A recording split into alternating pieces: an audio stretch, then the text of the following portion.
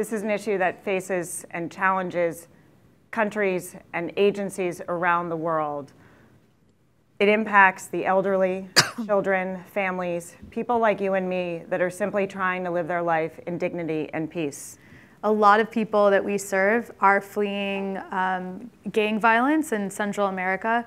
For our adults, we have people from um, all over the world, but for our children population, about 99% of our children are fleeing the countries of El Salvador, Honduras, and Guatemala. Um, right now, El Salvador has the highest homicide rate in the world. Um, one in five families in El Salvador have been victims of violence. And so we see a lot of people fleeing for their lives. Um, one, one example I can give is a recent client of mine, I'll, I'll call her um, Daniela for today. So she um, was living in El Salvador. Her, um, her grandmother was her caretaker. Her grandmother ran um, a, a, little store on the street selling um, drinks and snacks, and it happened to be across the street from the police station. And so, in addition to her customers, she also served um, members of the police force. And the, the gangs in, in the area viewed that as a, a political act, being against the gangs. The fact that she was providing goods to the police officers. The global refugee crisis right now, as you just heard, it's over 65 million people who fled their homes because of conflict and persecution and can't return home. And among those, about a third of them are refugees. They've fled to a neighboring country. And among those refugees, the average amount of time someone's a refugee is almost 20 years today. Children are the most vulnerable. We don't get to pick where, we where we're born, and, and if we did, we wouldn't pick poverty and we wouldn't pick a conflict zone. And yet, these children who are born into these situations through no decision that they made, no politics of their own, they are the most vulnerable in all of the situations. And for children in the camp, many of whom, as you've said, will spend their lifetime in that camp. You know, the 50 million people on the move, 29 million forcibly removed from their homes. We are losing an entire generation of children who should be in school and instead are sleeping on rocks we did a little research and we found that there are a number of children, you know, people are going into Latin America, in particular in Guatemala, and saying to a mama who has five or six kids, you can't feed them, I will take one of your daughters and I will educate her in the United States, send her to me, I'll sponsor her, and then we'll find her a job eventually and she will send money back and we'll reunite the family. And then that child is never heard from again. She's trafficked in the streets. And this is not a small problem, this is a huge problem in our country, right in our backyards right now. You made a really good point about how people don't have lawyers when they come. So um, there's no public defender system for immigrants in the process of getting deported. There's no appointed counsel.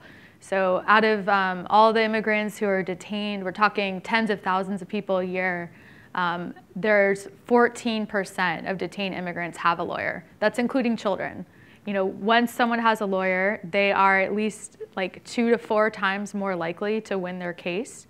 Um, so that's a really big issue we're facing here of people not having access to counsel you see that about $25 billion on average a year is spent towards emergency humanitarian response, tents, food, with the idea that you'll go home at some point. But people don't go home. So in 2015, the World Food Program had to cut 1.7 million Syrian refugees off of food. And they looked at the fact that their children were going to starve and their children didn't have access to food or, or education and felt that they had no other options than to risk their lives on the waters and in the backs of trucks to try to get their families to safety. Last year, the United States took 11 Syrians.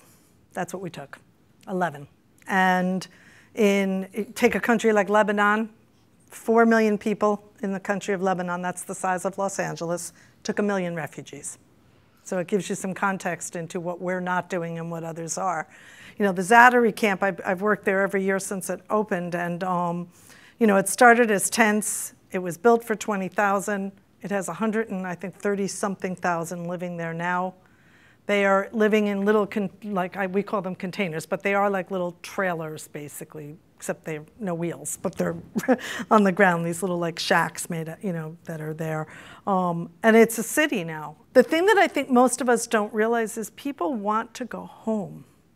They really don't want to come here or to Europe or, you know, they want to go home. That's where they want to be uh, to, to a T. Everyone, and I think you've experienced this in every country, if they had their choice, it's home in safety. Mm -hmm. And unfortunately, as a world, we can't secure safety for them. I'm just reflecting on what y'all are saying and um, thinking about how there are like so many people I've met who are refugees and the most brave, inspiring people ever, and, and certainly did not want to leave their countries. My first client was a refugee, uh, a young doctor who was a 26 year old from Ethiopia um, who was tortured by the government because he spoke out against the corruption in the local hospital for poor people that he was serving for his patients. So, I mean, he was brutally tortured. His whole family was there and certainly did not want to leave. His mission was to be serving the poor people of his country. Um, and just an example of, of really inspiring people who are willing to speak up. There is an amazing tenacity of human spirit. And I think if I think about solutions and hope, um, if you could talk to the people in these camps, they have not given up hope. They still believe tomorrow is going to be a better day, that the world isn't going to leave them there forever. Um, and you're seeing now corporations taking back office work in, in again, in, in Jordan, in the Zaatari camp, you see it in Lebanon in some of the camps where you have the opportunity. These people cannot work in the host countries, but they can work for American companies in the camp.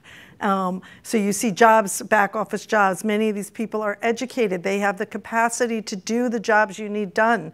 And you're seeing that start to happen.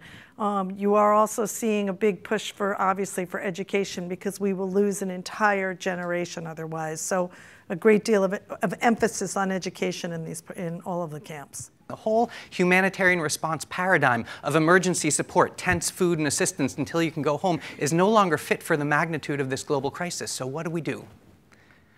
What we have to do is find ways for refugees to become self-reliant so they can care for their families and so they can contribute to their new communities.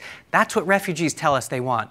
Don't let me depend on that food. I don't know if it's going to be here tomorrow. Let me support myself. We've brought together staff from the State Department, from the IKEA Foundation, from the UN Refugee Agency, from IRC and Mercy Corps, and some of the biggest global responders in the world to collectively come up with common goals and common ways of approaching those goals. I love what David Rubenstein said earlier today. He quoted Reagan, and I'm probably missing this precise quote, but that you can accomplish anything you want if you don't take credit. And that really struck me because what I find is that if you can unite a field around common goals and common ways of doing things, you can accomplish a great deal. I think it is important to continually highlight those positive, real stories about contributing people here. Uh, the, in that tent in the Congo, there was a 13-year-old boy who was mute because he'd been tortured so badly. He was one of the ones that got here. He became a, a national track star, went to high school, went to college, got a master's degree, and started uh, coaching coaching. And you see time after time people who are contributing. But I also, I wanted to just throw a little more, um, we had a kind of mutual love going on here. I wanted to throw a little more love Adina's way. Just, just to say that, so Brown CEO this morning said something that really struck me. He said, what is my responsibility? What do I have to do today? And I think we all have to ask ourselves that. What is our responsibility?